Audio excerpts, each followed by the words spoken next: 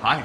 Hi. How are you? Can you introduce yourself Good. to everyone back home in Canada? Yes, my name is Becky Keene, and I work in a district called Kent outside the Seattle area And I can, I can attest that your, your district is awesome. I went to that learning fair last year and it was stellar. That's right. Thank you for coming. It was amazing. So, can you tell us about something you've seen, something that inspired you over the last couple days?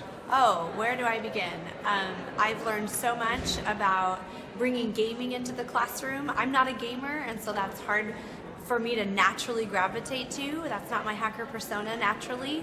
I've learned so much about that. But one of the things that I'm really excited to go back and take to my school district is called the Tree of Engagement. You saw that. Isn't that amazing? It's so cool. It's a way for teachers to set the bar the same for every student, but then give them a variety of branches to get to the top learning objectives. That's really a cool way to kind of template out a lesson for a teacher to give multiple learning paths. So, how did that come about?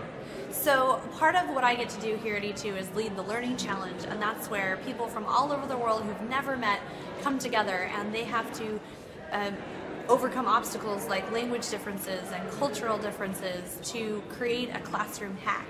And this one team came together and, in just a few hours of work session, um, figured out this amazing um, hack that I can take back to my teachers, and I'm happy to share anytime I do any pedagogical training. I'm very excited.